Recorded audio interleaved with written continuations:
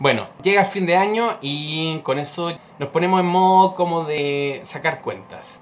¿Cómo empezaste este año?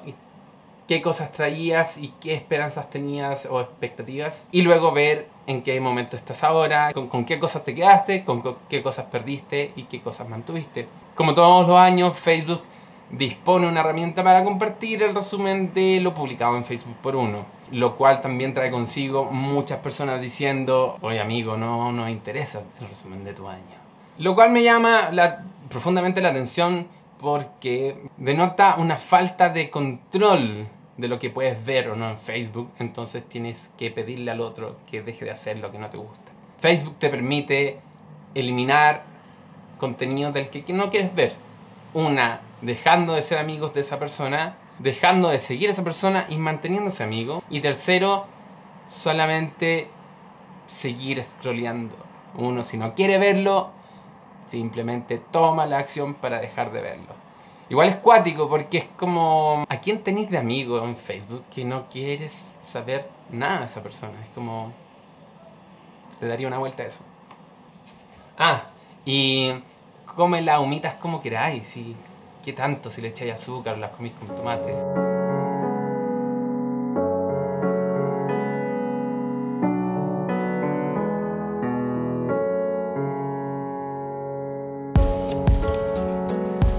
Disculpadme por no haber lanzado el vlog ayer. Como buen domingo, el último domingo del año, me lo regalé. Y como buena última semana, toca la hora de los resúmenes. Hoy día no voy a hacer ningún resumen del año, no se preocupen. Y...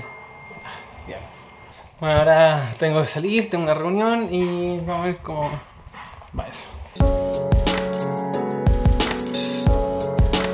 Lo bueno es que está súper fresquito.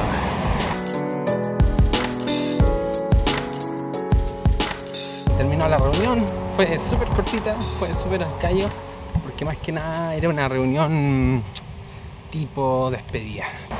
Yo siempre he sentido que para mí el año no termina en diciembre y no empieza en enero. Tal vez como acostumbrado con las vacaciones de verano cuando era escolar, después cuando estudiaba, después cuando trabajé, la pega como que bajaba en enero y febrero.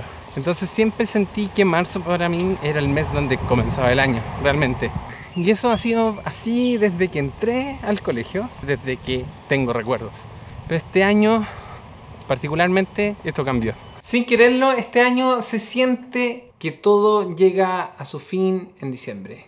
Es una sensación, es nada más que eso, es como después del año nuevo van a cambiar cosas. Y para mí decir eso es súper cuático porque yo nunca he entendido mucho el algarabía del año nuevo. Entiendo que es un hito y que... Pero mm, en verdad no entiendo ese, ese pensamiento que es como, ok, que se vaya este año y se lleve lo malo. Y es como, eh, no es el año el que tiene que llevarse las manos, eres tú el que tiene que hacer lo mejor con las cartas que recibiste. Es primera vez que me pasa, nunca me, había pasado siempre. Yo sentía que en enero y febrero uno ponía pausa y le daba con todo en marzo. Este año siento que al cambiar la fecha muchas cosas van a cambiar y desde el día uno echarle para adelante. Está brígido, brígido, brígido. Ahora viene el año nuevo y el siguiente episodio viene con resumen. Si no quieren que yo haga resumen, déjenme un comentario diciendo no hagas el resumen de tu año, no nos gusta, cállate. Si quieren que lo haga, no comenten nada o comenten algo diciendo sí, vos dale, mm, bacán. Hay varias cosas que voy a cubrir en este resumen, si es que me dejan hacerlo. Y entre, entre algunas otras cosas es si sigo haciendo esto es loco, ¿no?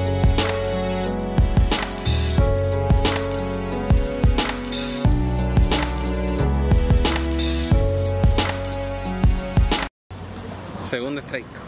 Nos la hizo de nuevo. Nos la hizo de nuevo. Así es.